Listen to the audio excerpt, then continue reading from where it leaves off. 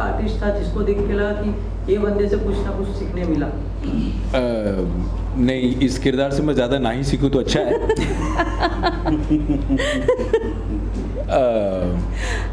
पर इस किरदार से मुझे कुछ सोचना कुछ कुछ मैंने देखिए जब आप एक किरदार प्ले करते हैं तो कुछ वक्त के लिए आप ऐसे हो जाते हैं। और इस किरदार विवेक अग्निहोत्री प्रोफेसर हैं एक यूनिवर्सिटी में हिंदी लिटरेचर के प्रोफेसर हैं। और विवेक अग्निहोत्री मेरे कैरेक्टर का नाम है मैं डायरेक्टर साहब का नाम नहीं बता रहा हूँ। नहीं बता देना ज़रूरी है। हाँ नहीं उसके दामोदर अग्निहोत्री। तो विवेक दामोदर अग्निहोत्री। पर आ, मेरे ससुर साहब आ गए। But you know the whole point really was that इस कैरेक्टर के इतने सारे शेड्स हैं। और ये बहुत खूबसूरती से वो पुराना इंडिया और नए इंडिया के बीच के मर्द को रिप्रेजेंट करता है। पढ़ा लिखा है, इज़्ज़त है, हर चीज़ अच्छी करता है, पर उसकी कुछ कुछ सोच में अभी भी वो पुरानी प्रॉब्लम है, जिसे उसने ना एक्सेप्ट किया है, ना वो मानना चाहता है। जिस पत्नी से वो कोर्ट में लड़ रहा है, उसी पत्नी की खातिर अपने अपने लॉयर से जाके झगड़ा करता है कि मेरी पत्नी से ऐसे क्यों बात की कोर्ट में? There is no there is no single layer to this उसका प्यार अपनी जगह है, पर उसकी सोच में प्रॉब्लम है। उसको लगता है कि अगर मेरी शादी हो गई तो अब ये मेरी प्रॉपर्टी है। तो ये जो पुरानी इंडियन सोच है, विवेक दामोदर अग्निहोत्री उस सोच को, उस सोच का रिप्रेजेंटेटिव है कि चाहे हमारा समाज कितना भी डेवलप हो गया हो कुछ कुछ ऐसी बातें अभी तक चेंज नहीं हुई। और जब आप फ़िल्म में देखेंगे, तब आप देखेंगे कि कैसे उसकी सोच में उस बात का फ़र्क पड़ता है। और कैसे वो उस इस प्रोसेस से गुजरता है?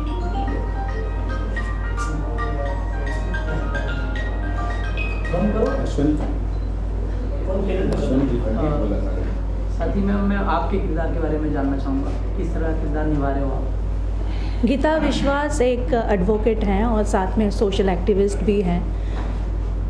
बहुत ही स्ट्रॉन्ग कैरेक्टर है और सबसे स्ट्रॉन्ग जो है, उसके हिंदी है।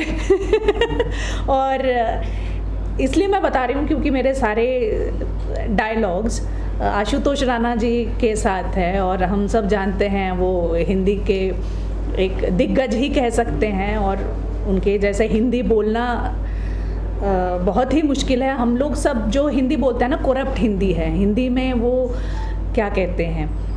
हिंदी अंग्रेज़ी मिला के खिचड़ी लैंग्वेज में बात करते हैं पर वो एकदम शुद्ध हिंदी में बात करते हैं तो उनके साथ उसी तरह से और उतने ही कॉन्फिडेंस से एक्टिंग करना आ, मुश्किल था।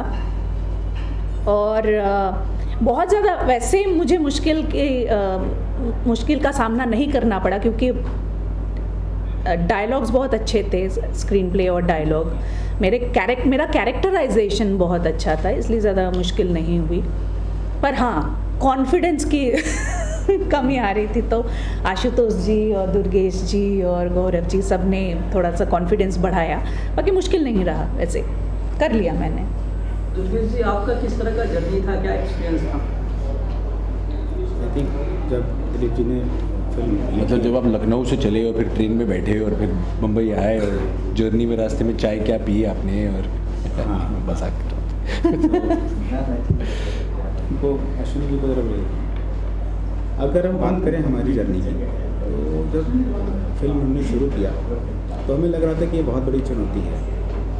और अगर देखा जाए तो बाई प्रोफेशन मैं पहले अध्यापक हुआ करता था टीचर बड़ा मुश्किल था मेरे लिए कि जी का स्क्रीन प्ले हो और इतने इस तरह के स्थापित अभिनेता, उनके अभिनय के आगे मेरा निर्देशन। है लेकिन एक जो कॉपरेशन मिला ना, ऐसे स्थापित कलाकारों का तो उस कॉपरेशन के थ्रू आप सभी के अभिनय के थ्रू हम अच्छे से इस विषय को जज कर पाए और समझ पाए कि इसको अच्छे से हम समाज में ला सकते हैं और एक कोशिश हमारी पूरी हुई। और विषय भी पहली फ़िल्म का इतना सेंसिटिव हो इतना चुनौती भरा तो डर तो होता है। आ, लेकिन हाँ क्योंकि थोड़ा मेरा पढ़ने पढ़ाने का रबता रहा है तो अच्छा था जर्नी अच्छी थी। संघर्ष तो अपनी जगह है लेकिन हाँ आज आपके सामने है प्रोडक्ट बस इसी बात की खुशी है हम चाहते हैं ये लोगों तक पहुँचे।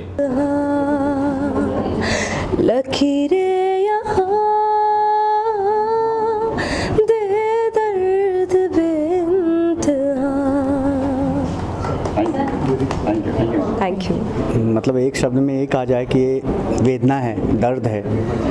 और ये दर्द मतलब आसपास में होती है, घटती है, लेकिन किसी को पता नहीं चलता है, ना कोई बोलता है, ना कोई इस पर बात करता है। और हमारे राइटर साहब उन्होंने इस पर और हमारे डायरेक्टर साहब दुर्गेश जी इन्होंने इस मुद्दे को कहा कि नहीं इस पर एक फ़िल्म बननी चाहिए प्लीज़ तो इस पर एक फ़िल्म बननी चाहिए तो ये बहुत ही ऐसा मुद्दा है जिसको जिस पर बात होनी चाहिए। और ये बात है।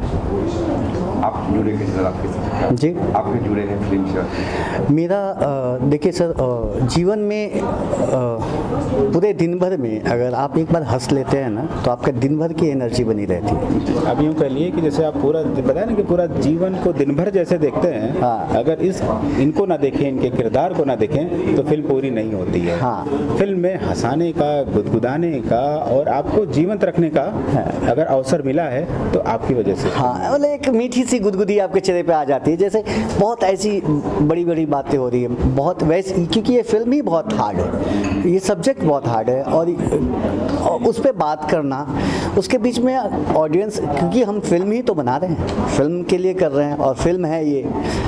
तो इसमें थोड़ा सा अगर मैं ऑडियंस को थोड़ा सा भी लाफ्टर दे पाऊँगा तो मैं समझूँगा मेरा करेक्टर जीत गया। Thank you thank you so much ये फ़िल्म वुमेन ओरिएंटेशन पे फ़िल्म है, औरतों के लिए फ़िल्म है। और अभी जो वक्त है, वो महिलाओं का ही है। तो हमारी अच्छी किस्मत है कि शुरुआत में हम लोगों को एक अच्छा गाना मिला और ये पूरी एक कहानी है, गाना कम है, कहानी है और जिस तरह से निहारिका जी ने लिखा है इस गाने को, आप सुनेंगे गाना तो आपको समझ में आएगा कि पूरी एक जो जो जीस्ट है इस फ़िल्म का, लकीरे का, वो उन्होंने उसको अच्छे से राइट डाउन किया और पूरी कहानी कन्वे होती है उस गाने में। तो we are hoping for the best और उम्मीद है कि आगे भी बहुत अच्छा करेगी ये फ़िल्म। बीइंग है। उसके बाद मैं इंडियन हूँ, उसके बाद कोई और आइडेंटिटी उसके बाद फिर मैं एक्टर हूँ। मुझे एक्टर इस समाज ने बनाया। इस समाज ने एक पोजीशन दिया कि we are in such a privilege position where we we should now give it back to the society जिसका हमने नमक खाया है। तो दुर्गेश जी, जैसे व्यक्ति बहुत कम है हमारे बिरादरी में। जो एक सब्जेक्ट को लेकर चलते हैं, इनको कमर्शियल वाइबिलिटी की चिंता नहीं थी कि बॉक्स ऑफ़िस में क्या कलेक्शन होगा, पैसा लगा रहे हैं, लगवा रहे हैं, उसका क्या रिटर्न बैक होगा। उस बगैर उसके बारे में सोचे, एक ऐसे सब्जेक्ट पर फ़िल्म बना रहे हैं, जिसकी नितान्त आवश्यकता है समाज को। ऐसे बहुत सारे मुद्दे हमारे समाज के आसपास। हम जैसे जो थोड़ा जागरूक फ़िल्म मेकर हैं, इससे जुड़े हुए लोग हैं, अगर एक एक सब्जेक्ट पकड़ के ऐसे इस तरह से फ़िल्में बनाने लगे तो कहीं ना कहीं तो थोड़ी जागरूकता पैदा करेगी और हमें ऐसा करना चाहिए। ये सिनेमा सिर्फ़ नाच गाने के लिए सिर्फ़ ऐसी मैंने बॉन्डे इंटरटेनमेंट के लिए नहीं है। ये बहुत बड़ा माध्यम है, सशक्त माध्यम है। आप कुछ आपके अंदर जागरूकता लाने की, आपको एंटरटेन करने के लिए, आपको एजुकेट करने के लिए। तो अगर हम उस पोजीशन में हैं, जहाँ हम ये कर सकते हैं तो वी शुड डू इट और ऐसे लोगों को हेड्स ऑफ़ है, दुर्गे जी जैसे लोगों को, जो अपनी ज़िंदगी की इतनी लंबी यात्रा में यहाँ तक का सफ़र उन्होंने किया। कब से इस प्रोजेक्ट में लगे हैं, इसको यहाँ तक मतलब पहुँचाने के लिए? और वो भी ऐसे सब्जेक्ट को जिससे रिकवरी का पता नहीं है। लेकिन कहीं ना कहीं इनके अंदर वो कमिटमेंट तो थे कि इस सब्जेक्ट के लिए हमें फ़िल्म बनानी चाहिए, ऐसा होता है समाज में और इसको आवाज़ देनी चाहिए। क्योंकि बहुत लोग जो उस पोजिशन में नहीं है, झेल रहे होते हैं ज़िंदगी, जी रहे होते हैं। तो कोई तो खड़ा हो उनके लिए बोलने के लिए।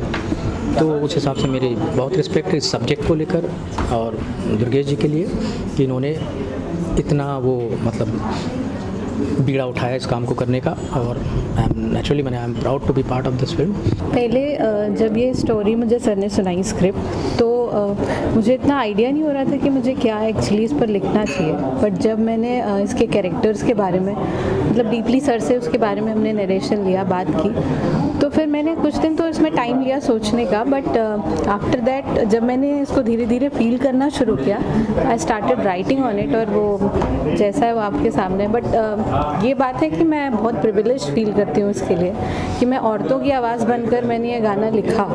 तो आई लैंड माई वर्ड्स तो ये मेरे लिए बहुत बड़ी चीज़ है। अगर मैं आ, समाज के काम आ सकती हूँ इस तरह से तो।